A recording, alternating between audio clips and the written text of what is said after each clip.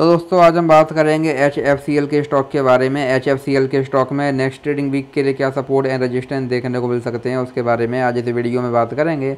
हम अगर यहाँ पर स्टॉक की बात करें तो हम देखेंगे जो ये स्टॉक है, ये हमको पहले यहाँ पर लगातार क्लियर अप ट्रेंड में देखने को मिल रहा था। पहले हमको स्टॉक में हाइयर हाई हाइयर लो वाला पैटर्न यहाँ पर देखने को मिल रहा था। लेकिन फिर स्टॉक ने यहाँ पर रजिस्टेंस लिया, जिसके बाद हमको यहाँ पर स्टॉक में गिरावट देखने को मिली। लेकिन अभी पिछले कुछ समय से हमको अगेन यहाँ पर स्टॉक में तेज़ी देखने को मिल रही है। आज हमको यहाँ पर स्टॉक में 3.63 परसेंट की यहाँ पर एक बड़ी गिरावट देखने को मिली है, लेकिन यहाँ पर भी अच्छी बात यह है कि गिरावट के बाद भी जो ये स्टॉक है, वो यहाँ पर अपने सपोर्ट लेवल के ऊपर बना हुआ है तो यहाँ से भी अगेन हमको स्टॉक में रिकवरी भी देखने को मिल सकती है। यहाँ से अगर अब स्टॉक में रिकवरी आती है तो यहाँ से रिकवरी की कंडीशन में हमारे पास स्टॉक है वन का पहला यहाँ पर रजिस्टेंस देखने को मिलेगा। अगर स्टॉक इसको भी यहाँ ब्रेक करता है दैन यहाँ से हमको स्टॉक है वन और अगर स्टॉक इसको भी यहाँ ब्रेक करता है दैन यहाँ से हमको स्टॉक में अगेन एक बड़ी तेज़ी।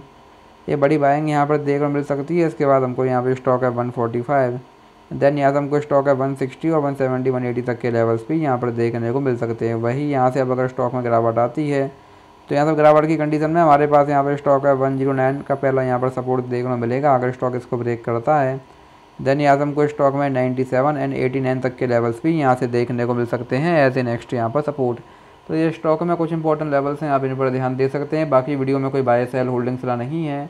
वीडियो केवल एजुकेशनल पर्पज़ के लिए धन्यवाद।